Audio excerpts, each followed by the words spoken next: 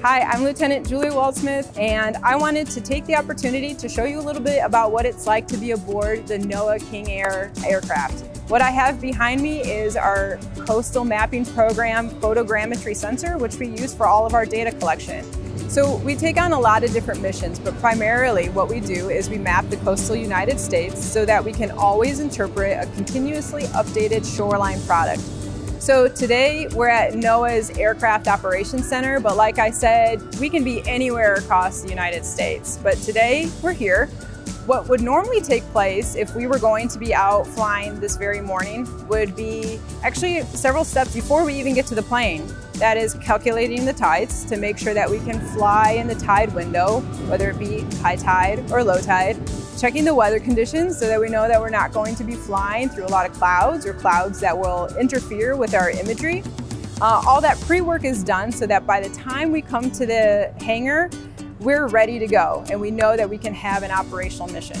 When we get to the aircraft, we have a few things we need to do. The pilots need to do their pre-flight checks to make sure that the plane is in good working order. I need to make sure that the system's ready to go. So I'll plug in the data drives, I'll clean the glass so there's no smudges for our pictures. And we also brief the mission so that we're all on the same page about what we need to get accomplished for the day. Then when we're ready to operate, we get on the plane, I shut the cabin door, and then we start rolling. So I do some ground tests, but mostly what's important as we get started with the operation is that I'm turning all the systems on, checking that everything is connecting properly and that the system is working. So the pilots get us to where we need to be and then the system starts taking pictures. In flight, the plane will automatically take pictures as we get over our image location. As pictures are being taken, I'm watching the images as they come in and check that they have the right lightness and they're very balanced and they're going to look good for our data product. I'm also checking that our GPS data is coming in and that we have the inputs that we need.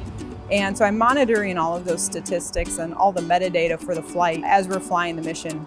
Once we're back on the ground, I pull the data drives out of the cameras and I check that the images were of good quality. I also check the position data, the trajectory of the flight to make sure that we were connected to GPS the whole time and the position of the photos is going to be correct. And then I'll calculate the tides for that location and make sure that the images were collected at the correct tide datum.